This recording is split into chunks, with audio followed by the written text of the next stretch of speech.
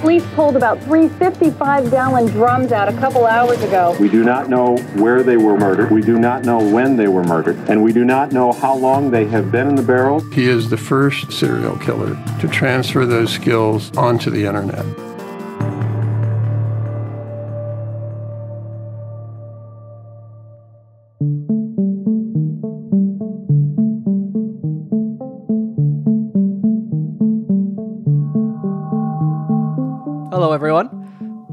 Know if that uh, dramatic light opening uh, did anything for anyone, but I thought it was pretty cool. Or at least I thought it would be pretty cool. I've got this new Stream Deck, so I keep I keep playing with it. Anyways, thank you so much for being back here with me today as we continue looking into cases that involved the internet, as we explore the question of whether or not the worst monsters are no longer hiding in the dark, but are right here in front of our eyes, in the light, beaming right into us from the technology in our hands. Today's case is a little bit of an anomaly, as the majority of the crimes perpetrated by this man took place prior to the dawn of the internet age. However, towards the end of his spree, he did use the internet as a means of finding victims and has since been dubbed by some the internet's first serial killer.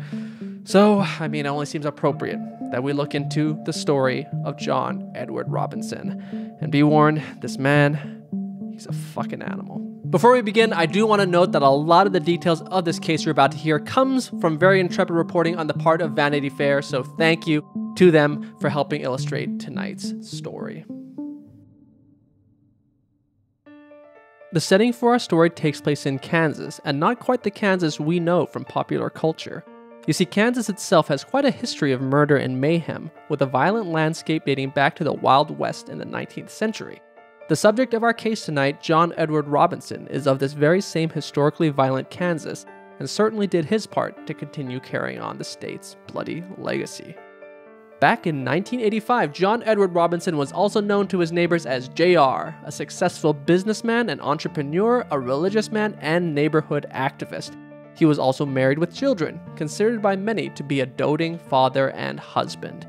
That's how it always begins, you know? It's always these these nice, seemingly nice people, isn't it? You know, for a long time, when I first started at BuzzFeed, I was extremely, I, I think I'm a nice person. But when I started at BuzzFeed, I was particularly extra nice because I was, I was an intern and I wasn't hired yet. So, you know, I wanted, I wanted to get hired. So I was, like, I was extra nice. And uh, several people have told me that they suspected me of being a serial killer because of that. So, you know, but let's dial it back a bit further to Cicero, Illinois in 1943, the year Robinson was born. Robinson grew up with a fairly normal childhood by all accounts, being the middle child of five. Eventually, Robinson would go on to become a lab technician and office manager for a physician in Kansas City. This position would mark the start of a wild series of run ins with the law, the first of which took place in 1967 when he was found guilty of embezzling $33,000 from his employer and placed on probation for three years. While on probation, Robinson got a job as the manager of a TV rental company, which he was fired from after he was caught stealing merchandise. Soon after, Robinson started work as a systems analyst for the Mobil Oil Corporation, who would later fire him as well after he stole 6,200 postage stamps from them. Long story short, this man was a goddamn criminal, and just so I don't keep repeating myself, know that this pattern would keep repeating itself several more times as he would continue to steal and embezzle from multiple sources over the next few years, including stealing $30,000 from a retired teacher. What a what a gem of a man. Somehow, though, despite being put on probation for a third time in six years in 1976, by 1977, Robinson had racked up the means to move himself, his wife, and his children into a nine room home on four acres in Kansas. At this time, Robinson started yet another career, this time in hydroponics, where he launched his own company called HydroGrow. However, according to Vanity Fair, around this time, Robinson's neighbors eventually began noticing their new neighbor would become prickly and even mean when upset. One neighbor told Vanity Fair a memory of Robinson showing her his hydroponics system and acting pleasant until she said something about the price being too high. At that point, Robinson snapped and told her, You've wasted my time. You're small potatoes. I will say, though, that the insult of calling someone small potatoes is, is quite uh, uh, uh, bemusing to me. And it's something I may have to say more often now when people irk me. If someone annoys me, you know, get out of here. You're small potatoes. Neighbors also overheard him yelling at his wife and kids at times, needing to control his surroundings. Always. That said, we're not here to discuss the crimes of an arrogant con man. We're here to talk about something far worse. Because while Robinson had used his past companies to front his financial fraud and theft, Robinson's newer ventures had begun hiding something far more sinister. How John Edward Robinson had begun killing young women in a murder spree that would last almost two decades. In 1984, Robinson hired 19 year old Paula Godfrey to work for him. An honor student and accomplished figure skater, Robinson had reportedly promised to enroll her in a professional training course in Texas and cover all of the expenses. However, the day of her departure for the training, Robinson picked her up from her parents' house to bring her to the airport, and she was never seen again. When she hadn't checked in with her parents several days later, the Godfreys reported she was missing. Police checked in with Robinson, who claimed not to know anything of her whereabouts. Shortly after, the police received a letter signed by Paula Godfrey that she was okay, but that she did not want to see her family. Because they had little other evidence to disprove this, the police ended their investigation. By Christmas 1984, about three months after Paula had already vanished, Robinson claimed he had founded the Kansas City Outreach Program, whose alleged purpose was to help downtrodden women. In early January 1985, Robinson and the Kansas City Outreach were put in touch with their first philanthropic charge 19 year old Lisa Stasi, a single mother with a four month old daughter Tiffany. Promising her exciting job training sessions and living assistance, Robinson began corresponding with Lisa directly but told her his name was John Osborne. But rather than putting her in an apartment, he put Lisa and Tiffany in a room at the Rodeway Inn in Overland Park. On January 8, 1985, Robinson told Lisa he had made arrangements for her and the baby to travel to Chicago in the next few days. In addition, he asked her to sign four blank sheets of paper, as well as give him the addresses of her most important relatives. So now, obviously, Lisa's situation was unique, and you know, this was her employer she was thinking of. But anytime anyone asks you to sign blank sheets of paper, don't do it. On January 9, 1985, Lisa left in a hurry with Robinson, leaving all her belongings, bringing basically only Tiffany, and was never seen again. Lisa's sister in law, Kathy Klingensmith, would call the Rodeway Inn the next morning, and the clerk informed her that Lisa had checked out and her bill had already been paid by a John Robinson rather than a John Osborne. This next part is a little fucked up. On January 10th, the day after Lisa supposedly left with Robinson, the Robinsons threw a festive party at their home to celebrate the adoption of a baby. Specifically, an unconventionally rushed adoption that Robinson had apparently been able to set up for his brother and sister in law after they handed him $5,500 in cash. Both new parents would soon be back on their way to Chicago with a baby they had desperately dreamed of having for years. They named her Heather, obviously not knowing she already had a name Tiffany. However, through all this, Robinson might not have been as smooth as he had hoped, as there were people growing suspicious of his alleged philanthropic work. Robinson, still on parole, was soon reported for his sketchy behavior to Stephen Hames, a district supervisor of the Missouri Board of Probation and Parole. Hames looked into Robinson and soon learned of his connection to the missing Lisa Stasi. However, after Hames checked in with detectives, they said there was no clear evidence of wrongdoing in Lisa's disappearance, so they were not pursuing it further. However, they also noted that a second young woman named Paula Godfrey, who also had a connection to Robinson, had gone missing a few months earlier. Though, once again, they were not pursuing that case either. I know it's easy to sometimes rag on, on you know, incompetent cops in cases like these, but I mean, come on. Despite these connections, they decided not to pursue the case. That just boggles my mind. Knowing now that there was another missing woman, Hames decided to get the FBI involved, calling his contact at the Kansas City field office and saying, You need to take a look at this. We've got two women and a baby missing. We've got Robinson crossing state lines. From there, the FBI put two agents on the case to begin an inquiry. However, nothing could link Robinson to the disappearances of Lisa, her baby, and Paula. Yet. Hames would question Robinson specifically about Lisa, but he claimed not to know much except that she had run away with a man named Bill to Colorado. In an even later interview, Robinson told Hames, Why is everybody making such a big deal when I'm only trying to help people? By the way, Lisa Stasi has been found. She's okay. Tiffany, the baby, everybody's okay. As always, when it comes to these accents, they're shot in the dark on my part, so apologies uh, to anyone from Kansas out there. Robinson claimed he had heard about Lisa's new situation from a woman Lisa used to babysit for, but when this woman was questioned, she admitted that Lisa had never worked for her.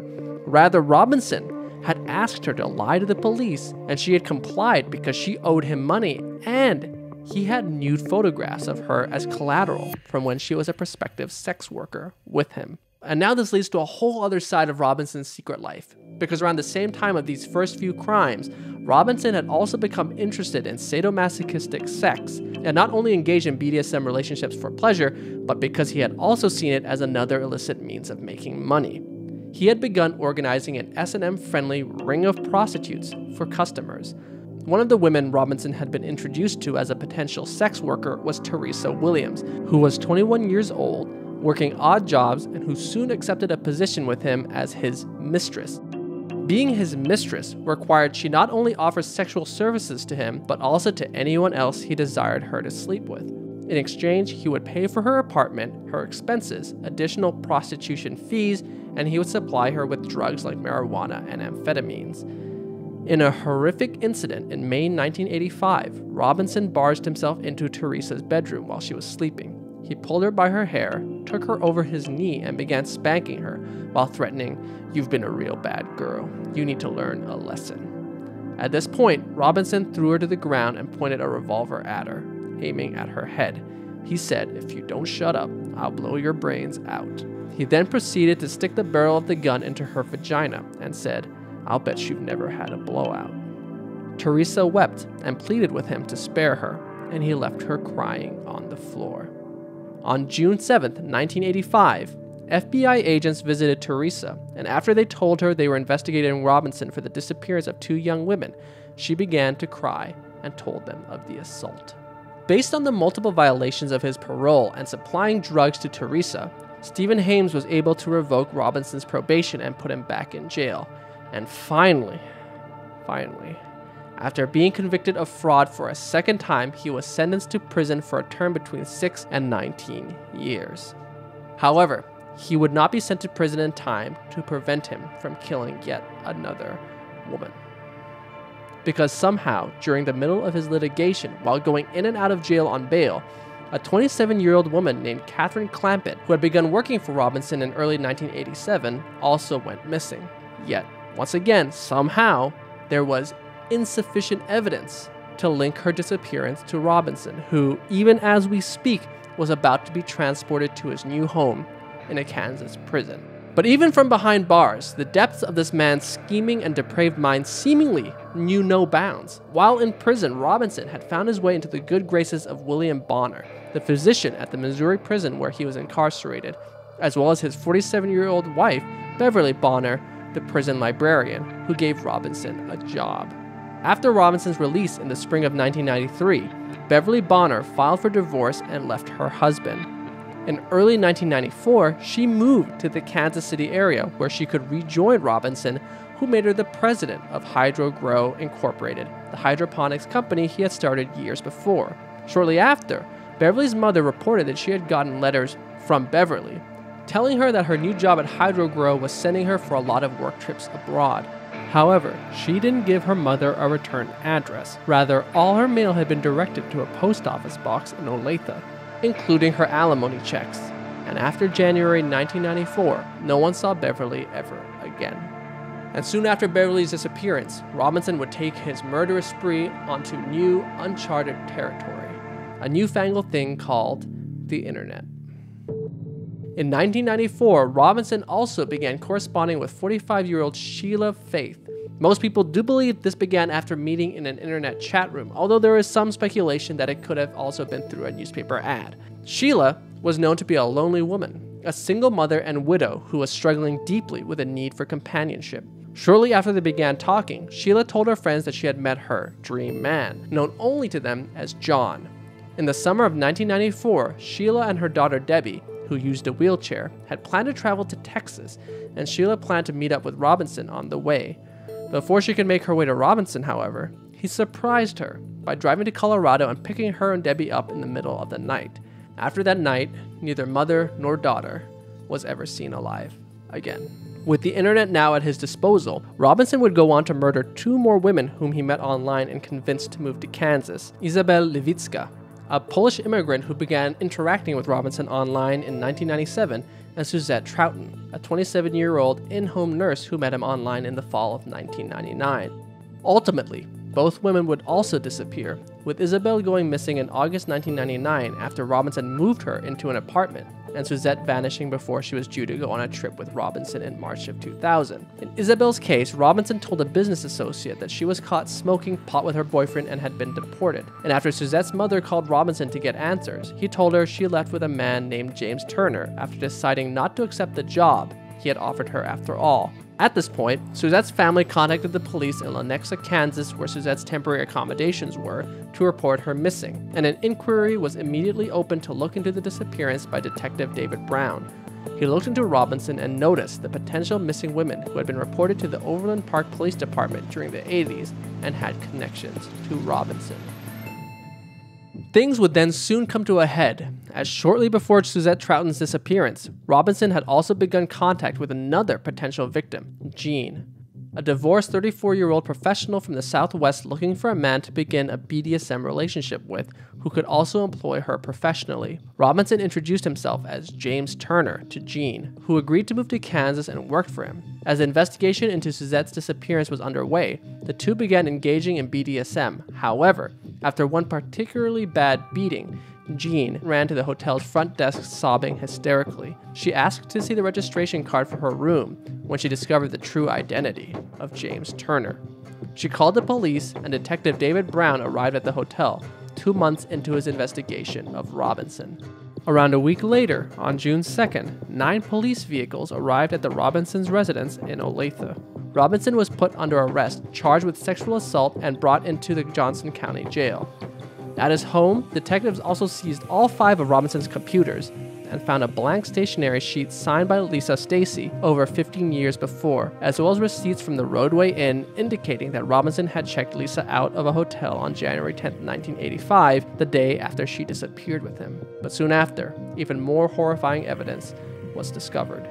Because as authorities scavenged a 16 acre plot owned by Robinson, a forensic investigator found two female bodies in metal barrels. In the first one, the naked body was head down in the barrel with over a foot of liquid from her decomposition in the bottom. In the second one, there was a pillow on top once the lid was removed. Below it was another body in more decomposition liquid. Both bodies were determined to have sustained strong blows to their heads, with the second body's wounds seemingly coming from a large hammer. The bodies were confirmed to be those of Suzette Trouton and Isabel Lewicka. In the coming days, three barrels containing three more bodies were found in a storage unit belonging to Robinson in Raymore, Missouri. These bodies were ultimately identified as those of Beverly Bonner, Sheila Faith, and Sheila's daughter, Debbie Faith. Robinson was charged in both Kansas and Missouri for crimes involving all of the women whose bodies were found, as well as in the case of Lisa Stasi, despite a body never being found. In the Kansas trial, there were over 100 witnesses called and over 23,000 pages of police files for the case, according to one prosecutor. And at one point, a 39 minute sex tape of Suzette and Robinson was played for the jury. I think sometimes we're guilty, myself included, of not realizing just how how terrible the trial process is for you know the victims' families. The thought of your daughter, your sister, you know, in that a tape like that being shown to complete strangers, it's just it's, it's horrifying. On October 29, 2002, the Kansas jury unanimously convicted Robinson, who was sentenced to two death sentences, one each for the capital murders of Suzette and Isabel, life in prison with the possibility of parole after 15 years for the first degree murder of Lisa Stasi, and further years in prison for the aggravated kidnapping of Suzette, the aggravated interference in parental custody of Lisa's daughter Tiffany, and a theft charge. In the Missouri trial, Robinson was found guilty and received a life sentence without parole for each count of first degree murder in the deaths of Beverly Bonner, Debbie and Sheila Faith, Catherine Clampitt, and Paula Godfrey. Prosecutors hoped that in entering into a plea deal to avoid the death penalty, Robinson would give up information on the location of the missing women. But he never did. As of today, John Edward Robinson remains in prison as he continues to file appeals for his death sentence. If we are to go back to our question of whether or not the worst monsters are no longer hiding in the dark, but here in the light of the technology in front of our eyes, in this case, the internet really didn't actually play much of a part. Yes, he used it to find victims, but ultimately, whether or not he had the internet, this man would have kept killing women until he was caught. People were doing terrible things before the internet, and if somehow the internet were to just shut off for the rest of time tomorrow, which I hope it doesn't, but if it were, people will find ways to do terrible things without the internet as well. Scary thought. And uh, I guess I'm going to leave you with that. But on that note, thank you so much, though, for tuning in and listening. And as always, if you have a case you'd like me to explore with all of you, please be sure to leave us a comment down below or shoot me a message. And who knows, maybe next time we'll be diving into a not so fun case that you've shared with all of us. Thank you and stay safe online thank you